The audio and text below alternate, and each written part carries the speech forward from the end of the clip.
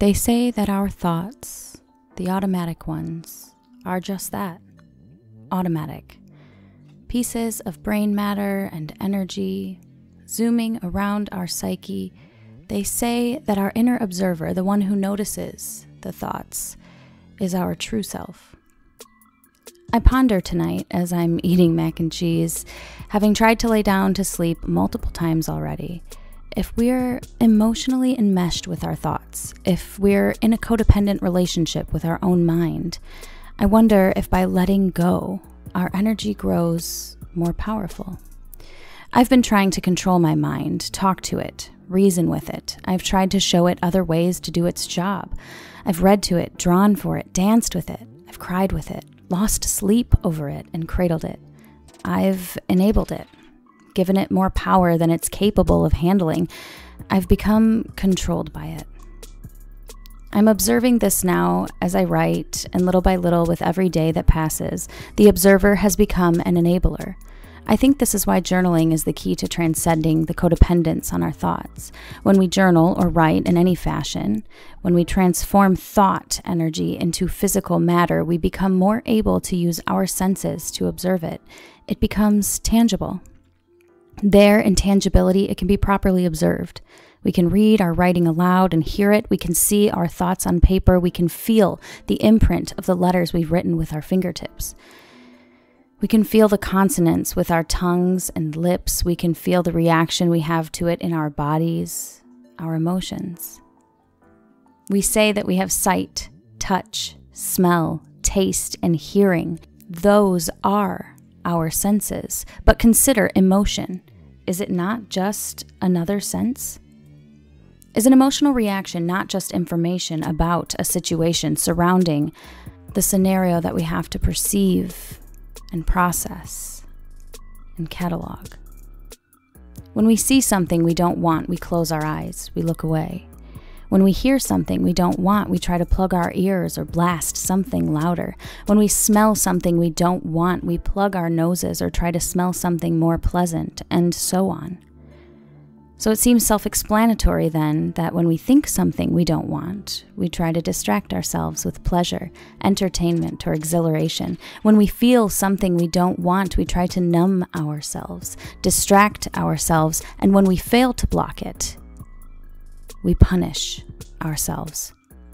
It's a mechanism for control. It's a cycle of failure, inevitable failure, characterized by mental health disorders, chemical imbalances, physical health problems, lack of fulfillment, erratic behaviors, etc. So essentially, we block ourselves from perceiving the world around us as it is, and we don't fully process the information we receive about the world. Minor sensations come and go, escaping our awareness. We don't accurately or consciously observe it when it's happening. We don't utilize our gifts, our senses, our minds the way we were designed. Our place in the world then escapes us too, doesn't it? How do we know when we block our ability to process? We don't let things be. We desperately grab hold of what's familiar and try to recreate it. This evening, my tea, Yogi Teas, gave me some wisdom that I photographed. Quote, master the unknown by knowing your deep self. End quote. How do we know something? How do we truly know it? By experiencing it? No? By observing it? By reading about it, talking about it, learning about it, seeing it, hearing it, feeling it? No? Do we know something by controlling it? Do we know something by punishing it? Do we know something by ignoring it? Do we know something by telling it to be different? No. So it can be reasoned then for an observer to transcend, they must not learn to control their mind, but rather to let it go and watch it be. Which leads me to my next pondering Does the observer learn self love only when he or she lets go of themselves? Their ideas of who they think they are, should be, or need to be? Do we only learn self love when we allow a safe place for us to just be? Isn't that what we do for the ones that we love? We allow them safety. We allow them to feel. We validate and encourage and inspire them to grow, but we do not try to control them. We do not try to force things upon them. Healthy and true love is simply creating space, isn't it?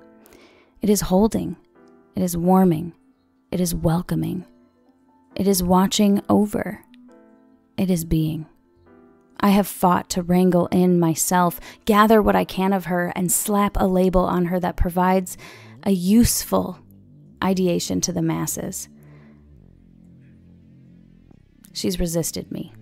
Strongly. She refuses containment, constructs, and control. Even if she acquiesces for a while, she mocks me in her rebellion, flipping a switch in an instant. I told my ex husband over the phone recently that the old me has died. And in her death, she became new. She became me. And I know I will die one day too. The me that I am in this moment. I feel her death coming and with it another creation anew. And this leads me to the question that I will end on today What does this practice look like in everyday life? How does this fit in with a day to day existence in an environment out of our control? I know grounding, I know nature, I know journaling, I know breathing, I know creation, art, dance, music, poetry, writing, and others I may be forgetting. But is there a structure? Is the structure different person to person? These things I will ponder a different day. I feel tired now, and I will give myself rest.